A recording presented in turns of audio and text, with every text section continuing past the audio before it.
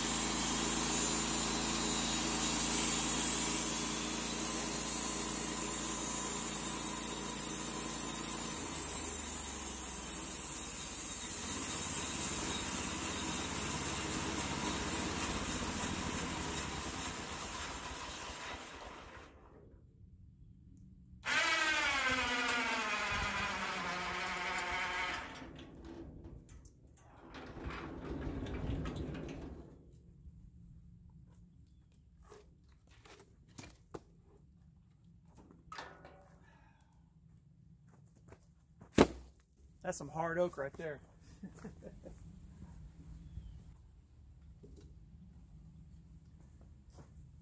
As you can probably hear, uh, my little lawnmower battery out there is dying pretty quick, so we'll probably have to swap that out for something we actually got a little more juice out of. So, But I'm going to try to get at least one good cut out of this before I go and change that out. So.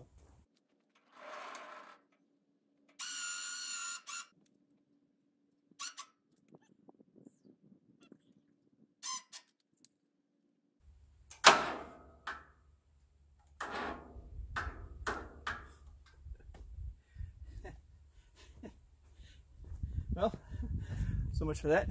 We actually are going to have to change the battery out, so uh, we'll get that and we'll come back.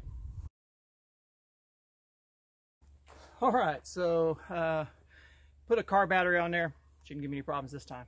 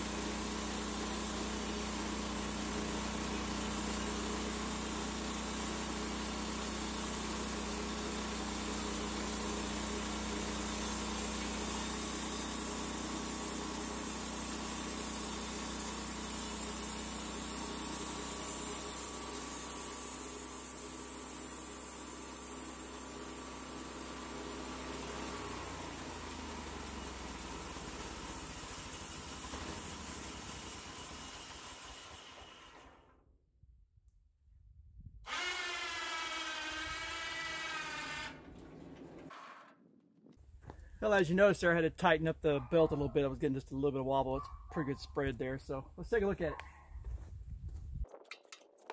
Oh yeah, now that's gonna make a nice table right there. Got this little opening in here. That's gonna be nice.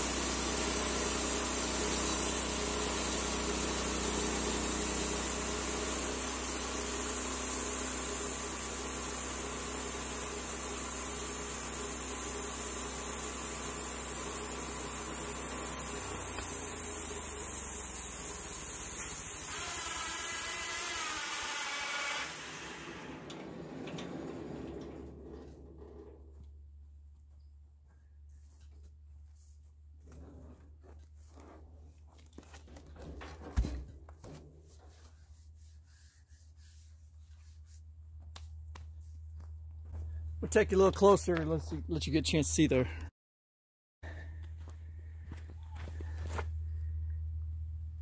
There you can see it's got a really cool kind of cool texture to it. Get it washed off and it'll look you'll be able to see the grain but uh, yeah that turned out pretty sharp. And like I said that's uh, about 36 inch diameter. So I'm gonna go ahead and finish cutting up the rest of this but uh, yeah very happy. It works very really really well